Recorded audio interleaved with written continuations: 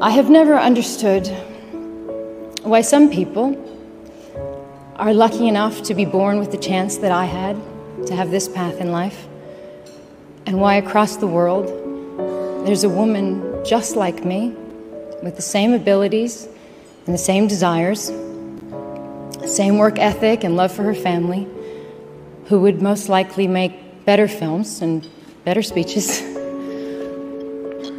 Only she sits in a refugee camp, and she has no voice.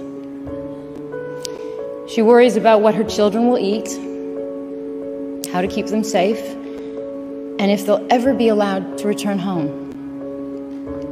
I don't know why this is my life, and that's hers. I, I don't understand that, but I will do as my mother asks, and I will do the best.